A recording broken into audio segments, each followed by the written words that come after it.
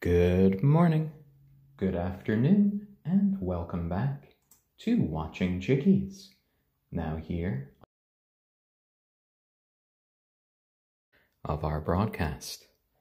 And Watching Chickies is the daily live stream here on Reddit and then later YouTube about the lives and development now 122 days old.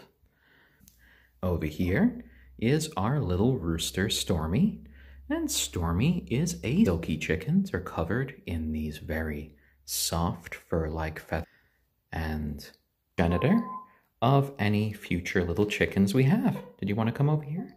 No, not yet. Is our Onagadori chicken.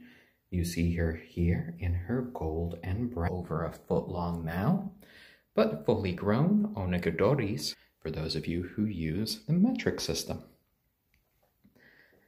And all of these chickies are members of our family and friends for life, so they will so much while I was away, my little. During these broadcasts, we just kind of watch the chickens assigned to their outdoor coop. They are inside here in their play area, um, just for these streams and when they come in to sleep at night few local, so this is kind of the safest place for them to sleep. Oh, and polarity, lovely to calm cadence for the chickens. Chickens can sense voice. It can just put them at ease and they can live their best little chicken lives. Oh my, oh my, have we crashed?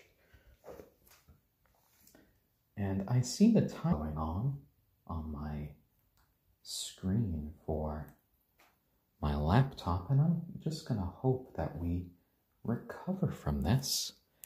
If not, I will start another stream.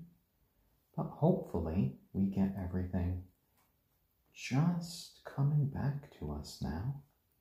I do have the laptop set here, so I do see that the time still seems to be going around. I'm going to look into my settings here